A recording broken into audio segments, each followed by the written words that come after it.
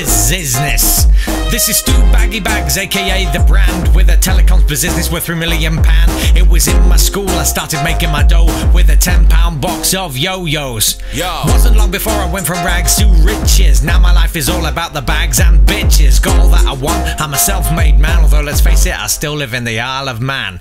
Massively. Yeah, that's right, massively. Massively. I described myself once as a bit of a punt, but I think Lord Sugar thinks that I am a cautious Carol. B to the A to the double G S. What's that you're wearing? Let me guess. It's your favourite brands, brands, brands, brands. Stuart Baggs, the brand, brand, brand, brand. I feel full of ponies, but I'm not spoiled, cause everything I touch turns to soiled.